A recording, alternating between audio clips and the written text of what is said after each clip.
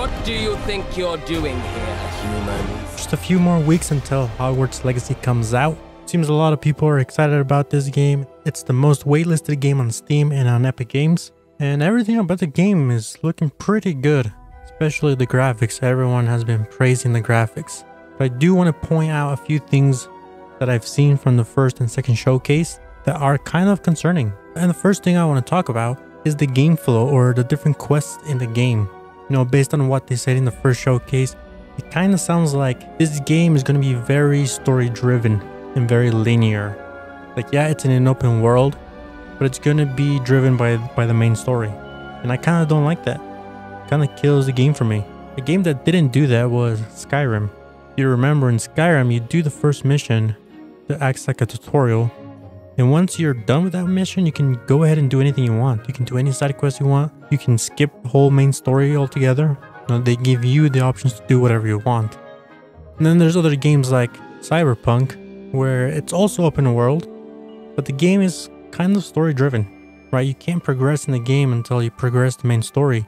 You can do a bunch of side quests and find collectibles, but you'll get to a point where you can't continue, you can't do any more until you play the main story or until you progress the main story.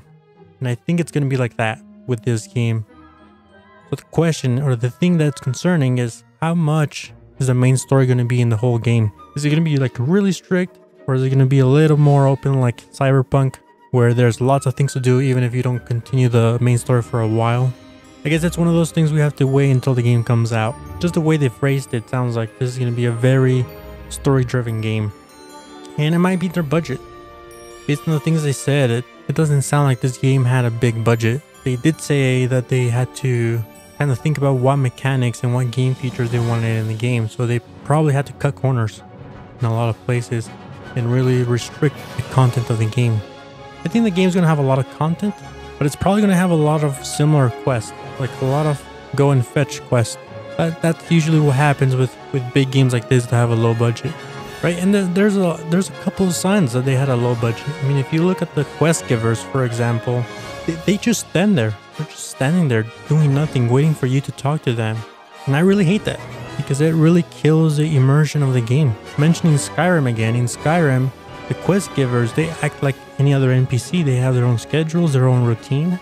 They have jobs. They can interact with different things. They're moving around. They're usually in the same area, but they're moving around, interacting with different things. Here, they're kind of just standing around, waiting for you to talk to them.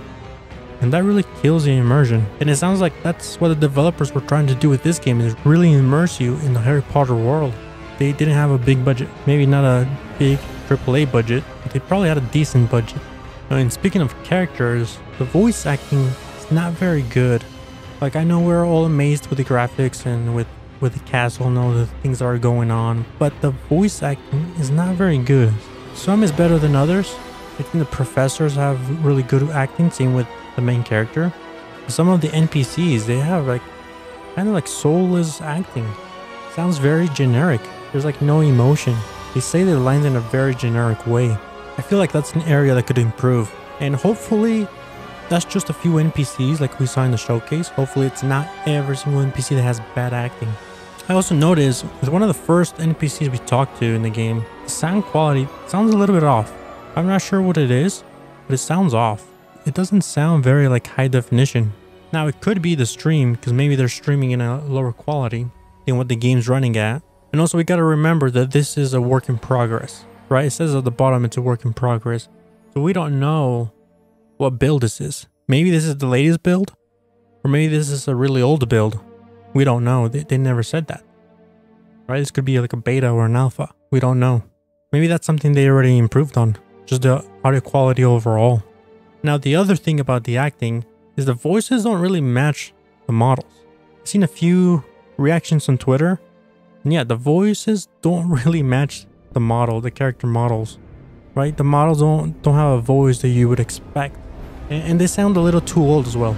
Some of the voices need to be a little bit younger, especially for the first year girl that you talked to that they showed in the showcase. I feel like her voice sounds a little bit older than she is. And once again, I think this has to do with the budget. I think what they did is they reused the assets from the NPCs and they created the quest givers.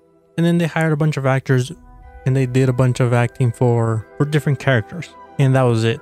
That's probably the easiest and cheapest way of doing it. A better way of doing it is to make the character model, you know, kind of resemble the, the actor.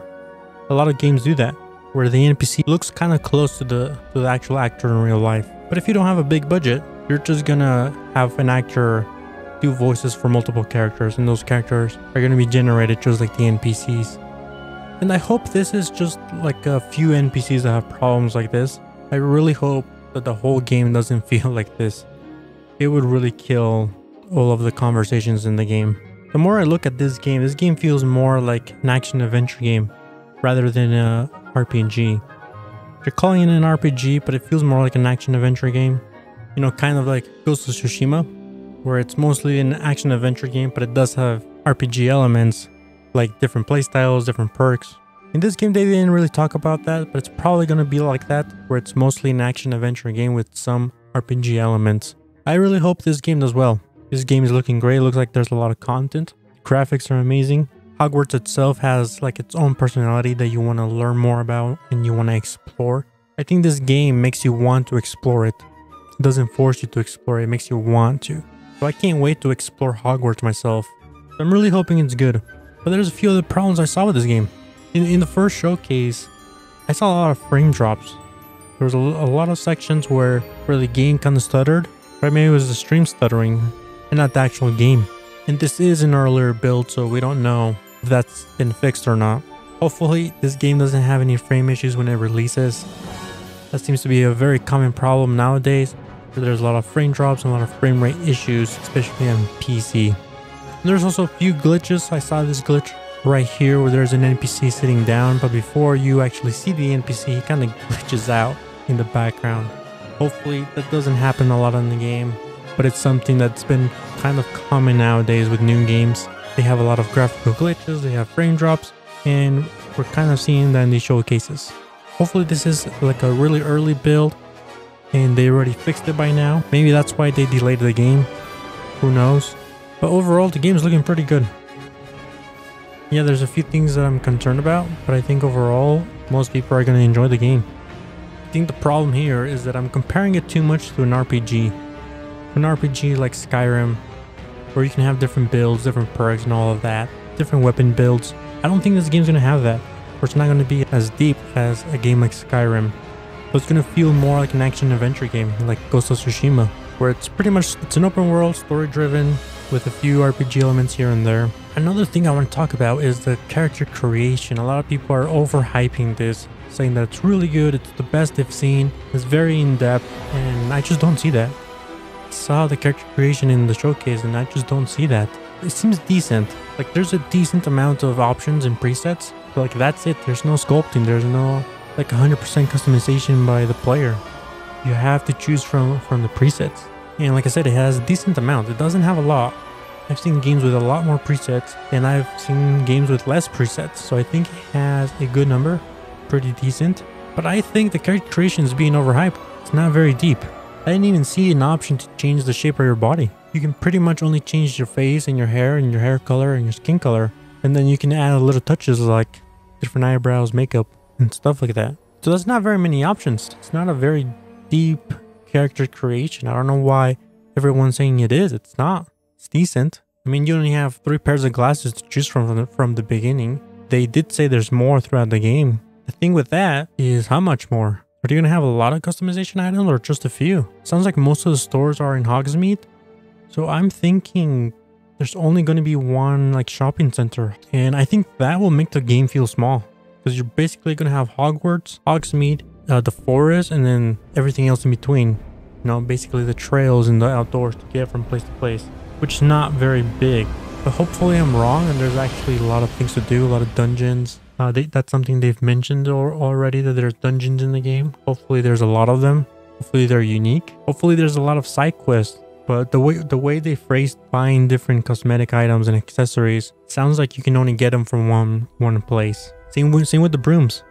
Sounds like there's not a lot of cosmetic items for the broom. It sounds like they only have different options for the color, not for the actual like model of the broom. It also sounds like it's going to be tied to a quest, the whole mechanic of upgrading your broom.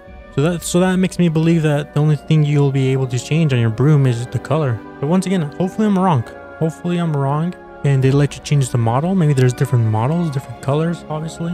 It's it's another thing we kind of have to wait until the game comes out and how much freedom as a player we have. Going back to character creation and voices, there's only two voices in the game, male and female. Like, yeah, you can change the pitch, but from the showcase, the different pitches don't sound very different. Sound very similar. You're basically stuck with two voices, male or female. And I kind of wish they had more. I mean, it's understandable. The main character is talking a lot throughout the game, right? Every time you receive a quest, you talk with the NPC. So it goes back to not having a big budget. Probably didn't have a big budget, and so they could only ha have two main actors. But yeah, the character creation is not very deep. Not the best I've seen. It has a decent amount of options that I think will satisfy everyone. I think the graphics for the main character look really good. The NPCs don't look as good as the main character, but they look decent. But I, I would have liked a little more freedom with the character creation. So those are some of the concerns I have, some of the big concerns I have. I think overall it's going to be a good game. Hopefully a lot of these things are fixed, right? This is a work in progress, so hopefully it's better now than what we saw in the showcase. Combat looks very simple. Doesn't look very complex at all. You know, I wonder if there's like a reputation system in the game or some kind of a faction system. That way you can have different runs. Like you can have a good run and evil run. You can side with one group of people instead of another. You know, besides the showcases, I haven't really seen anything about this game. I just don't want any spoilers. I just want to enjoy the game by myself. So let me know in the comments. What, what are you thinking about this game? Are you thinking about getting it? Did you see any glitches in the showcases or any frame drops? Let me know in the comments. I feel like this game's gonna have a lot of Easter eggs, a lot of little details here and there. Seems like that's gonna be a big thing in this game is exploration and just learning about the area learning about Hogwarts. So I'm excited for this game. I do have these concerns, but like I said before, hopefully I'm wrong and the game's a lot better now. And we also have to trust Avalanche, right? They're the ones making the game. We have to trust that they'll do a good job. I've looked at the previous games they worked on and they haven't really worked on any big games like this. So hopefully they'll pull through and make an amazing game.